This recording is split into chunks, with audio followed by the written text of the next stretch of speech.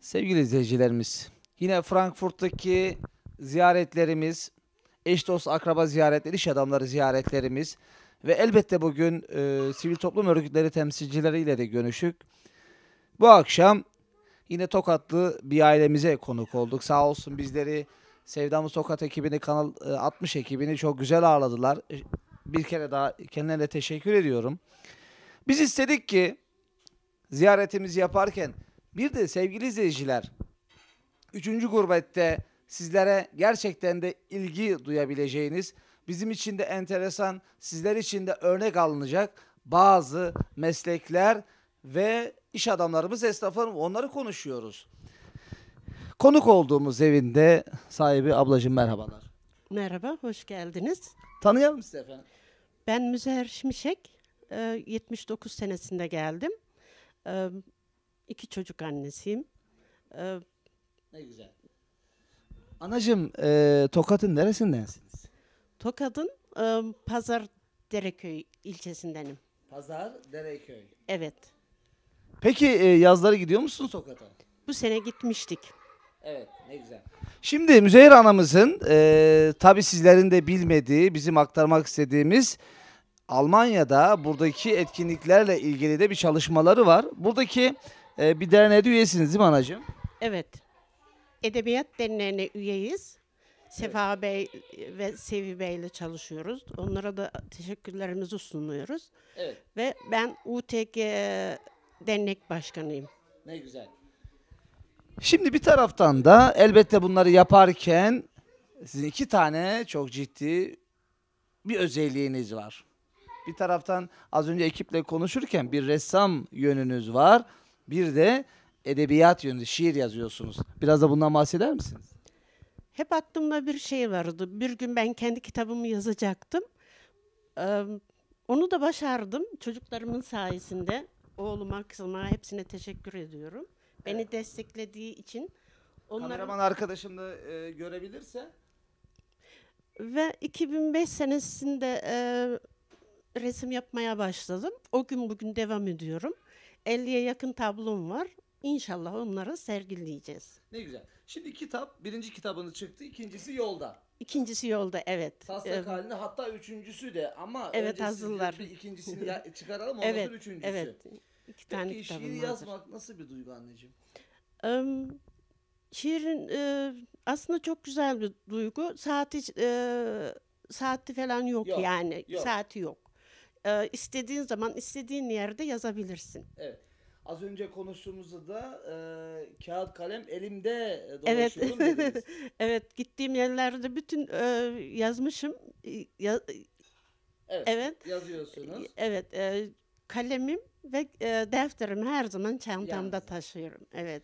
Peki şiirlerinizde genelde ne işliyorsunuz anacığım? Em, onu şöyle özetleyeyim. Evet. Kitabımda e, büyük bir sevgi, aşk var. E, Sevgi yani- var, aşk var. Evet, e, çünkü e, insan o duyguyu tatmak istiyor yani. E, böyle de bir şey çıktı ortaya. E, çıkardım da biraz e, öyküye değindim ve e, şiirleri ekledim. Şiirler eklediniz. Evet, Öykü ve şiirler iç içe. karışık. Evet, İç içe. iç içe. Yani e, kameraman arkadaşım görebiliyor evet yakından da e, görürse. Ne dediniz? Aşk. Aşk. Aşk. Ne güzel.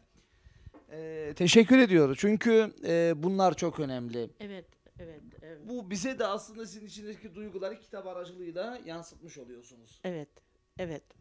Evet. E, Peki. Şimdi bir taraftan da elbette şiir yazıyorsunuz. E, kitabınız da yolda taslak halinde çıkacak. Ha, bir de bir başka yönünüz var. Ressamsınız. Resim yapıyorsunuz. Eee, Evet, eee, şimdi bizim toplumda genelde eee, işte bayan bir şey yapmaz, Evet. algı yani o düşünce var. Aslında ben yılmadım. 2005 senesinden beri eee, resimler yapıyorum. Kadınlar her şeyi yapar. Kadınlar her şeyi yapar, isterse her İsterse şey, yapar. isterse her şeyi yapar, başarır. Eee, kendine güvence, güvence, özgüvencesi olması lazım. Olması lazım.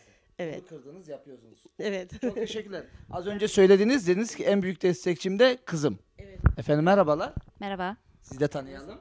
ben Serpil Bilgiç. Serpil Bilgiç. Neler yapıyorsunuz efendim sizler? Ben e, neler yapıyorum? E, annem konusunda bazı şeylere yardımcı oluyorum. Meslek olarak da e, güvenlik şirketine sahibim. Evet. E, ya burada doğup büyüdüm. Şimdi Serpil Hanım'ın da bir işletmeci az önce konuştuğumuzda program öncesi konuştuğumuzda da Almanya'nın ciddi firmalarının güvenliğini sağlıyor. Ciddi bankalarının güvenliğini sağlıyor ve e, az önce konuştuğumuzda da özellikle büyük organizasyonlara güvenlik elemanı temin ediyorsunuz. Evet, evet. Bu e, şirket olarak e, banko banka olabilir. E, müzeler, e, değişik şekilde etkinlikler. Mesela Karadenizlilerin e, güvenliğini biz sağlıyoruz. Ne güzel. Ya değişik şekilde. Peki e, bir kadın işletmeci, kadın iş sahibi olmak nasıl bir duygu? Zor mu? Zor. Özellikle bu güvenlik branşında diyebilirim. Kadın olarak e, çok çok zor. Zor. Evet, Ama siz de bunu başaranlardansınız. evet. Allah'a şükür Ne başarıyoruz. Bir taraftan istihdam sağlıyorsunuz değil mi? evet, evet. Evet. Çok teşekkür ediyorum. Sağ Ben de olun. teşekkür ederim. Evet, e, yine yanımızda Kanal 60 elbette yönetim kurulu başkanımız Sedat Bey'den de bir iki cümle alalım isterseniz. Böyle tokatımızın başarılı iki tane kadını yan yana analı kızı. Turan Bey, Almanya'ya geldiniz ne güzel oldu görüyorsunuz değil mi? İşte e, hemşehrilerimizi gördünüz, tanıştınız. E, bizim için gurur verici bir olay. Çok sevindim, ben de yeni tanıştım.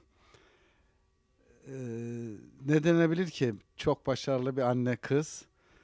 E, biz de aracılık ediyoruz hemşehrilerimize tanıtmak için. Bizim olan görevimiz olan, 60'ın görevi olan her zaman söylediğimiz e, misyonumuzu yapmaya çalışıyoruz. Ayaklarınıza sağlık. Buralara kadar geldiniz. Çok verimli geçiyor. Seni yoruyoruz biraz Turan Bey ama olsun. Hakkını helal et. E, bu dolu dolu programlarla de tu- İstanbul'a götür. Tüm izleyicilerimize selamlarımızı, saygılarımızı gönderiyoruz. Çok teşekkürler. Ben teşekkür ediyorum Turan Bey kardeşim. Sağ olasın. Gezmek dururken çalışıyorsun. çalışıyorsun. Bizim için aslında önemli olan şuydu. Hayat hikayeleri, başarı hikayeleri, başarı öykülerini sizlere aktarmaya çalıştık. Anamız yazar, şair, ressam. Yine e, kardeşimiz iş kadını. Almanya gibi bir yerde iş kurmak, iş kadını olmak zor ama bir o kadar da güzel mutluluk verici. Bizler Kanal 60 ve Sevdamız Tokat olarak Avrupa'da 3. Gurbet, gurbette Frankfurt'ta başarı hikayelerini de sizlere getirmeye çalışıyoruz. Şimdilik buradan bu kadar ama bizler seyahatlerimize, gezilerimize devam edeceğiz. Ve sloganımız hep beraber sevdamız tokat diyeceğiz. Sevdamız tokat.